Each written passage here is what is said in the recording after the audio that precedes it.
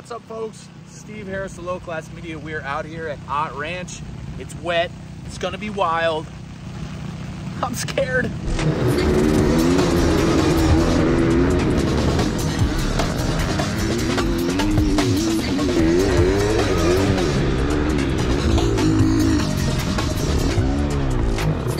So welcome to episode two, folks. This is supposed to be episode three, but due to some issues between the last race and this race with weather and had some filming issues, I wasn't able to film some of the stuff I did during practice after the last race. So again, this is episode two of a series I'm putting together over the 2024 season to just kind of work on some things to get better with my racing and my riding.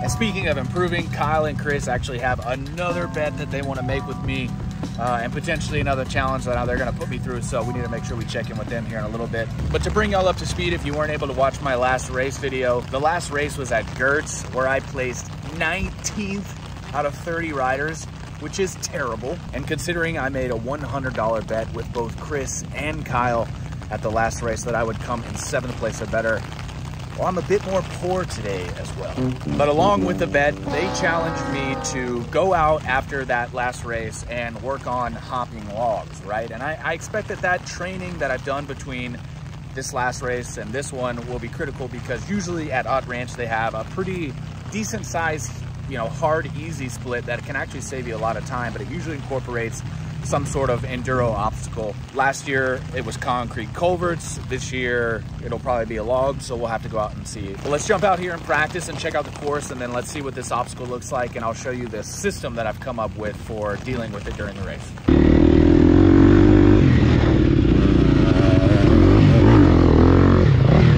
Oh, no. Uh, all right. Well, this is gonna be pretty gnarly, folks. Drop it.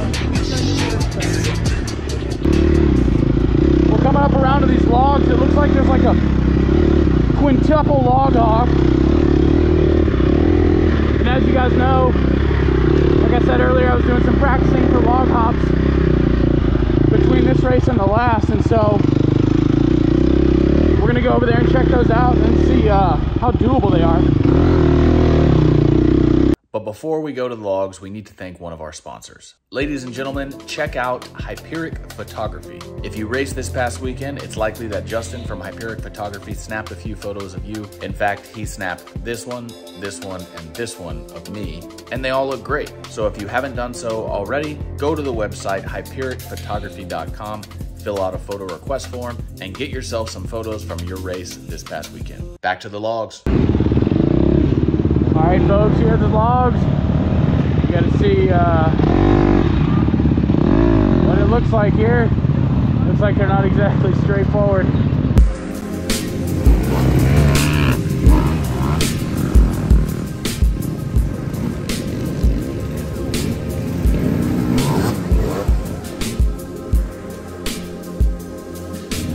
All right, so here we are at the log crossing got a little method for figuring these logs out.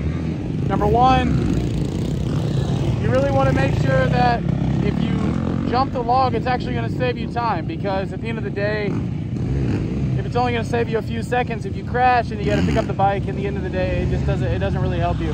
Here today, there's actually a really big amount of time it saved. If you hit the log successfully today, you can really cut off a lot of time and maybe maybe pick some pick some time back up on your competitors.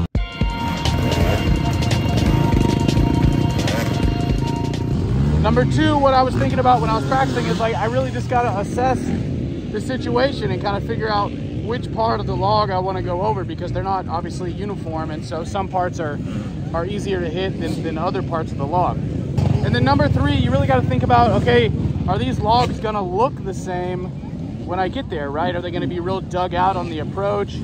Are they gonna move?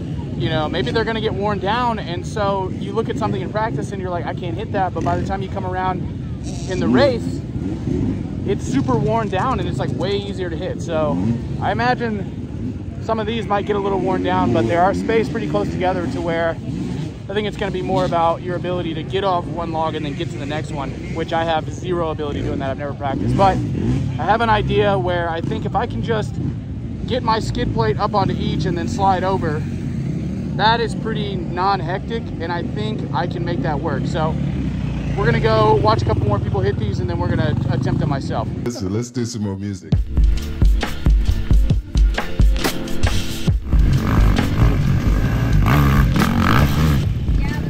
All right, folks, here we go. I'm gonna try it the easy way.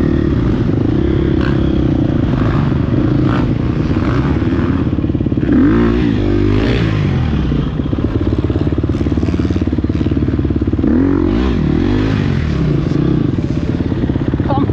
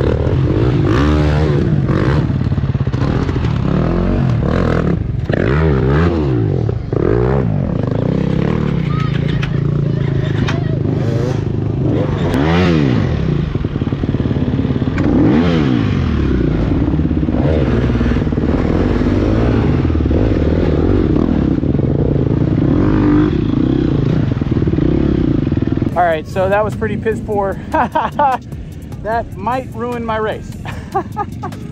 One thing I was gonna say is if you if you fail at the log crossing, at the very least you want to fail on the other side of the log. I was able to do that at most, so we'll see what happens. But let's go uh, finish our practice session and get back to the pits and uh, start getting ready for my race.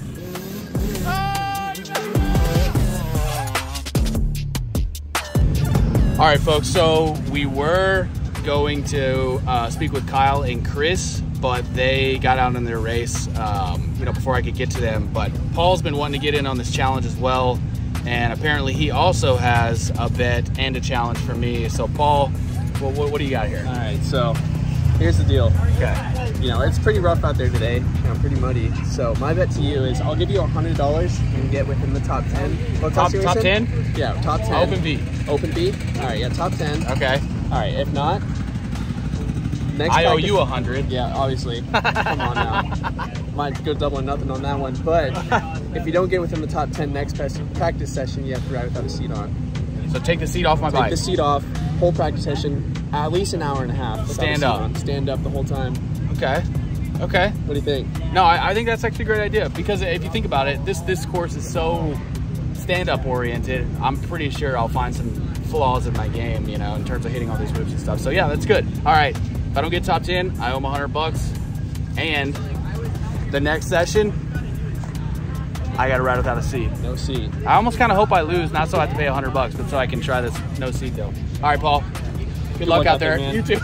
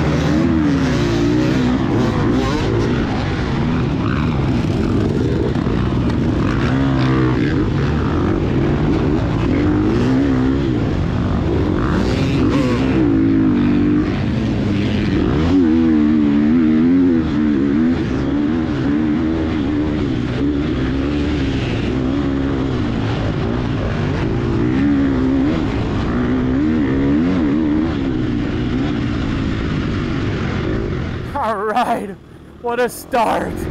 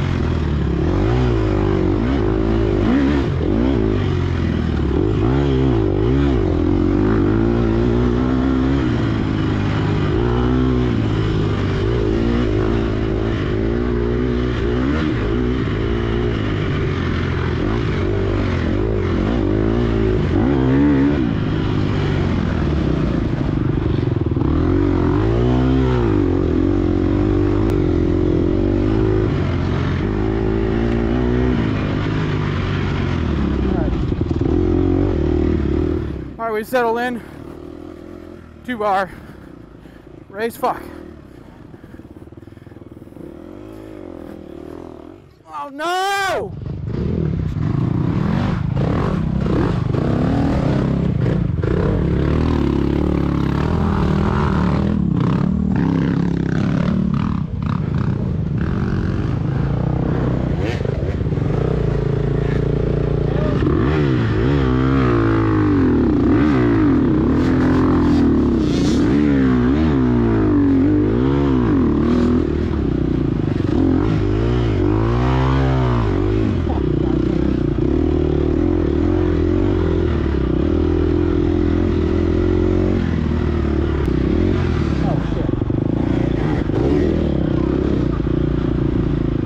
You got it.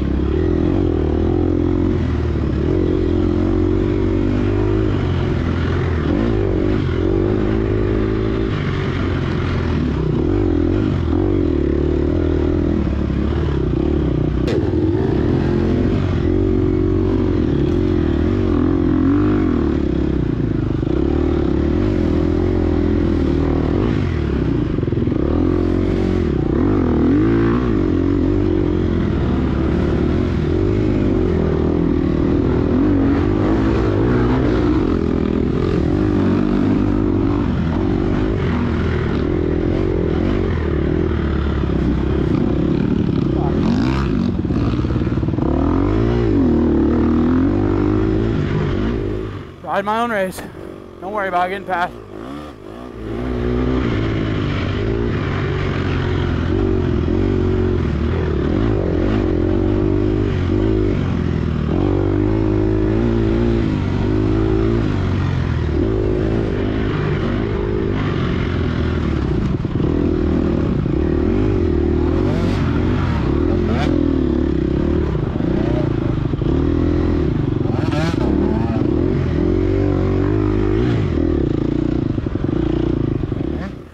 Okay, status update. We have settled into the race. I absolutely ran into a brick wall, stamina wise, and had absolutely no ability to sustain the starting pace that I was on. And now,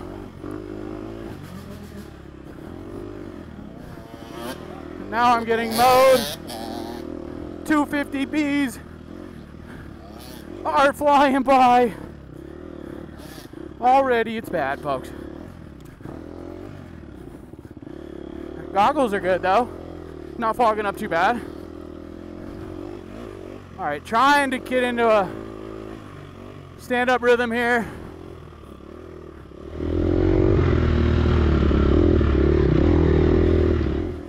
Coming around to the logs.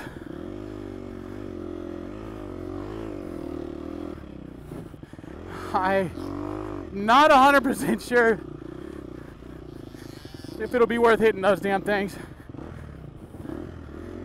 Really debating on whether or not I'm gonna bitch out after talking a bunch of trash before the race.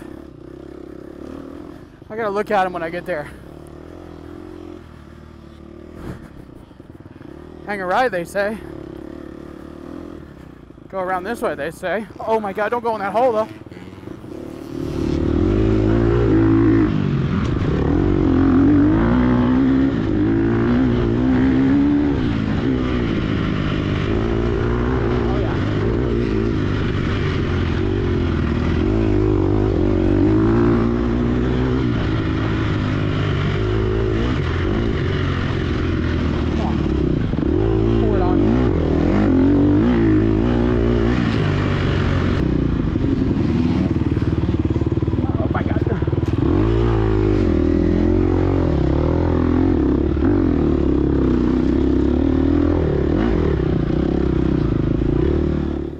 A lower gear next time?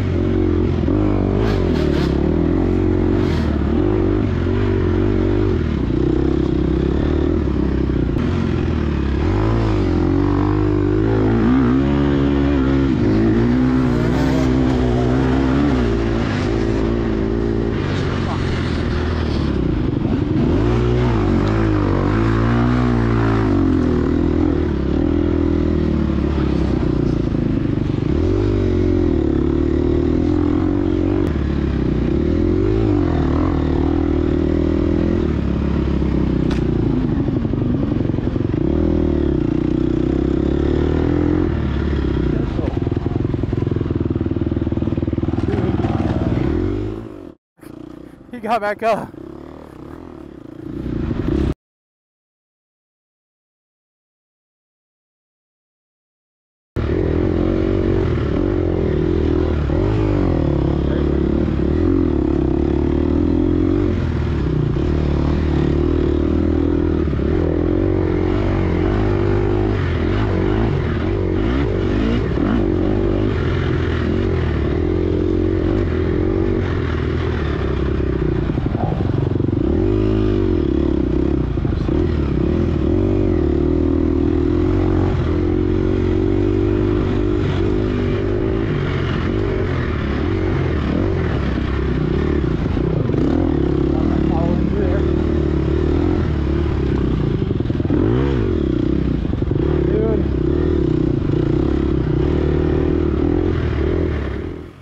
Okay.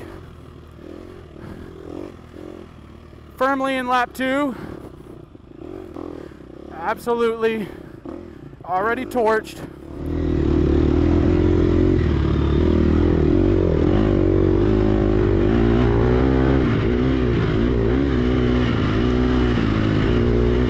Trying to salvage some little bit of technique here.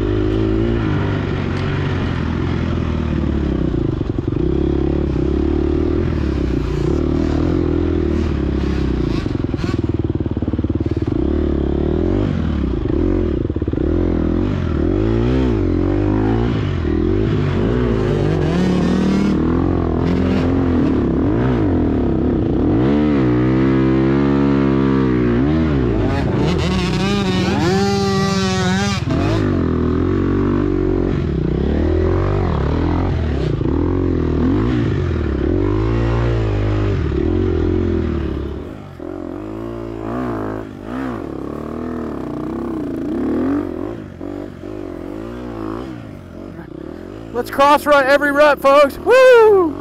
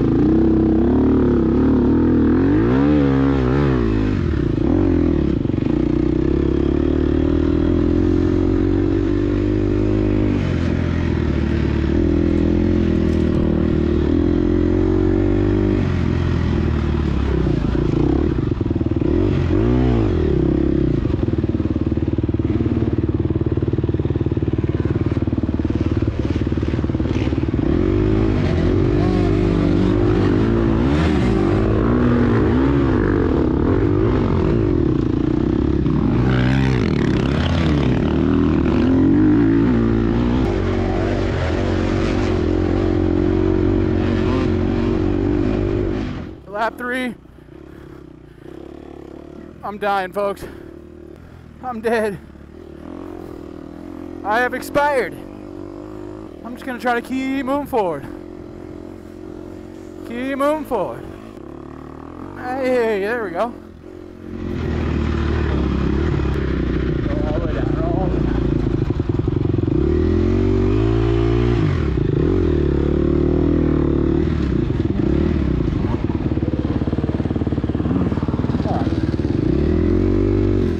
I was late to that party. Oh. Route. Ah.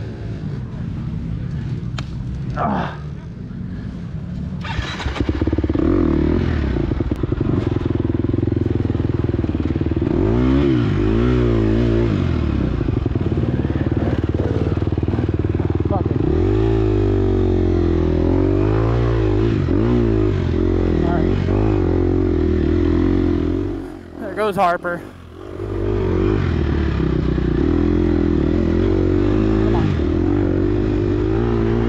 Let's get him.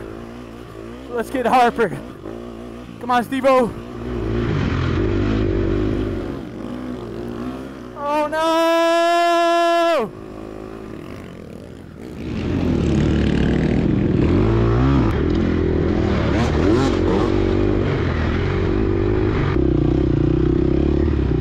Oh no, no, no, no.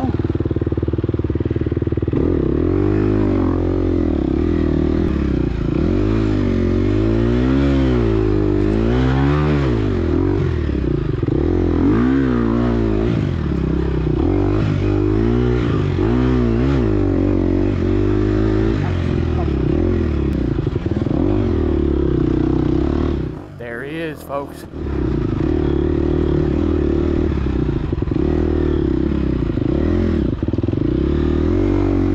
Hey, buddy.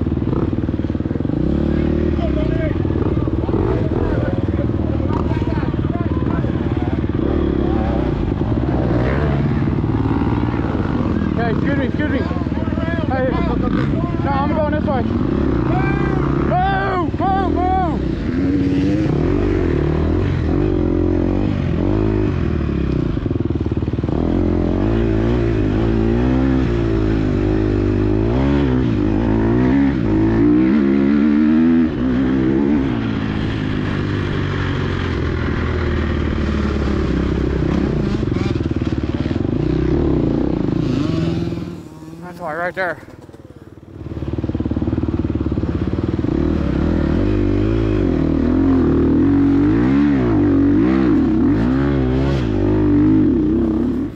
That's why. That's why you keep going.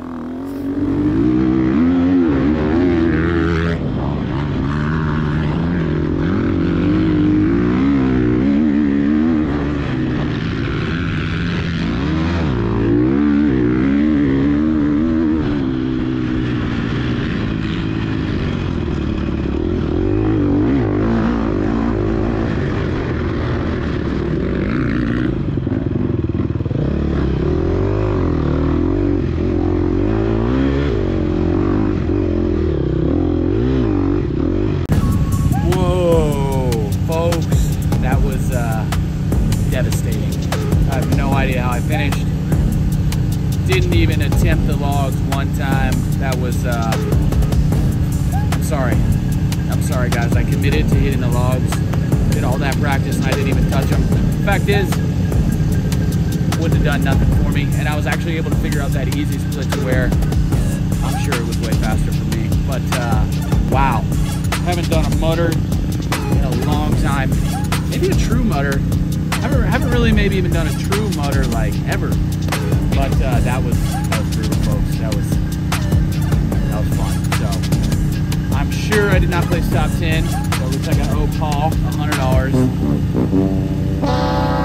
But I'm looking forward to going out and practicing riding with no seat. So stick around for episode three. I'm gonna go out and practice and just try to ride with no seat, continue to get better. Steve Harris, Low Class Media.